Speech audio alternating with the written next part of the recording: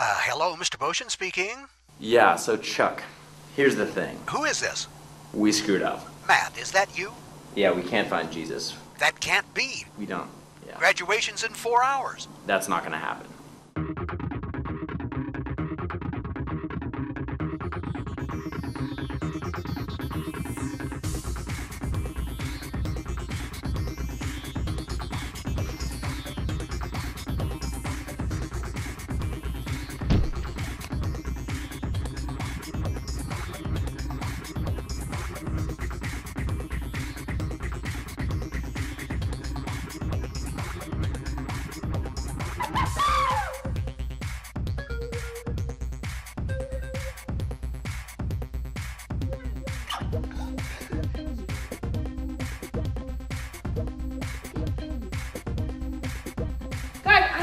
Anything from last night. Why not, Abby? Because I have short-term memory loss. Oh, I forgot. Yeah. Hey, you guys, where's Jesus? I don't know.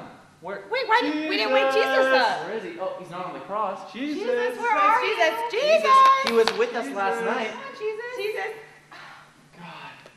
What are we gonna do? Guys, let's settle down. Uh, he's probably just uh, somewhere around the school. It's not a big deal. He's not always in the chapel. Uh, we should go check maybe the, the student lounge. He might be there. Okay, okay, yeah. Yeah, all right, let's go. Guys, I've checked everywhere around the student lounge. He's not here.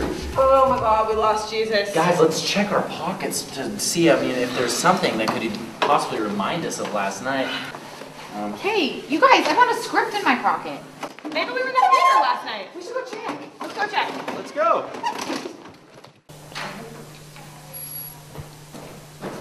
I have so many memories in this room from all the rehearsals and that for the musicals and the acting classes.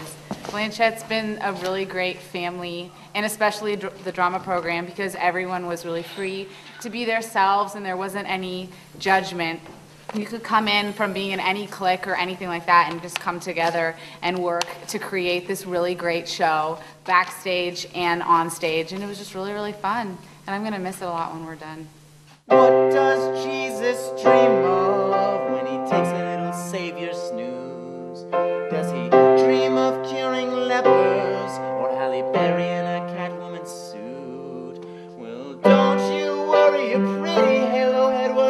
get you back to Mary in your little manger bed.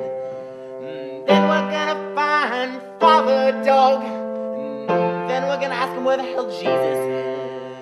Mm, Doug, Doug, Dougie, Doug, Doug, Father Doug.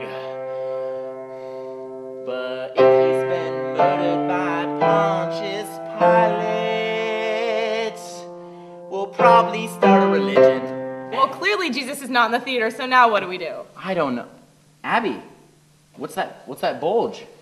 What? Oh my gosh! It's a volleyball.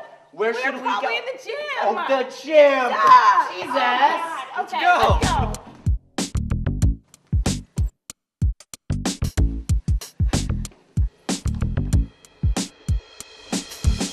I've had some of my best experiences of high school in this gymnasium and things that I really wish that every high schooler could experience and the energy and fun that goes into playing in a, in a sports game in this gym particularly with tons of kids coming out decked in green and gold.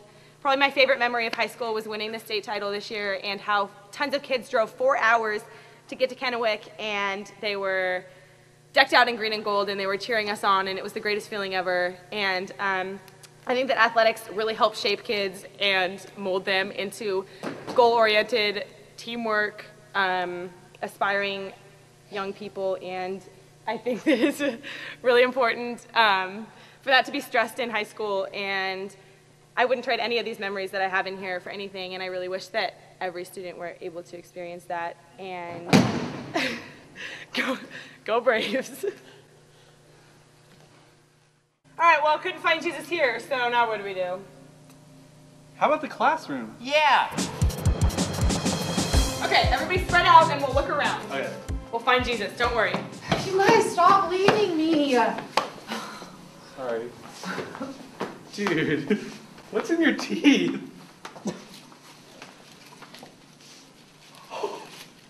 Matt! It's my report card.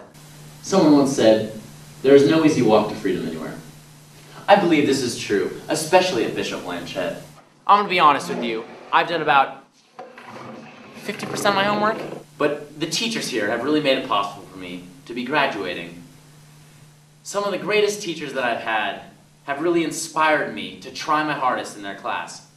And that's what I, I would inspire freshmen, sophomores, and even juniors to do as they go on in their schooling. Try the hardest you can.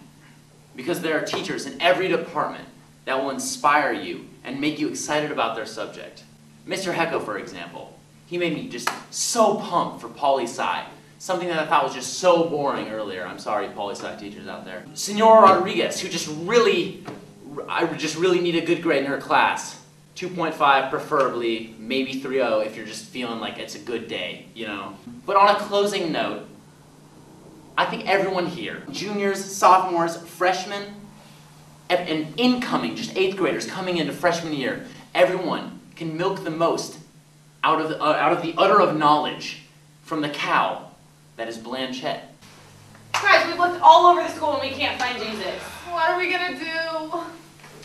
I guess we should give Boshin the news. Are you sure? I guess I'll call him. No. Uh, hello, Mr. Boshin speaking. Yeah, so Chuck, here's the thing. Who is this? We screwed up. Matt, is that you? Yeah, we can't find Jesus. That can't be. We don't. Yeah, Graduation's in four hours. that's not gonna happen. In four hours, Matt. I'm aware. Well, what are you gonna do? I'll bring a bucket. A bucket for what? And by the way, who said you could call me Ch? What'd he say? He's not happy. Are you, are you guys sure no one has an idea where Jesus is? Well, can we not have graduation without Jesus then? Is the graduation canceled? Dude, I know where Jesus is. To me, Blanchet has probably strengthened my faith throughout these four years. They've helped me become more open as a person, and by being open, I've been able to see Jesus in practically everything and everyone. Through all the students, teachers, I've been able to see the good and the grace of God. In the beginning, we thought Jesus was lost, but actually, Jesus is in everything we do. Jesus is in uh, academics. Every time I walk in a classroom and I see, oh my God, just there's a test today? What? Everyone just studying for the test? Me? No studying, just prayer. Just prayer. Um, Jesus is definitely in athletics, and I feel the presence of Jesus every time I'm in the gym and I'm playing um, in that gym, and there's fans and the community is supporting us, and I can really feel faith and Jesus in that setting. We can see that Jesus is definitely present in the performing arts because everyone is able to come together to create beautiful work that is special and unique for the audience and the people that are on stage. And I think that that's really a testament to the fact that Jesus is in all of us in the community. So we cannot lose Jesus. Jesus is everywhere in the halls of this school. Jesus everywhere. And the people said, Amen.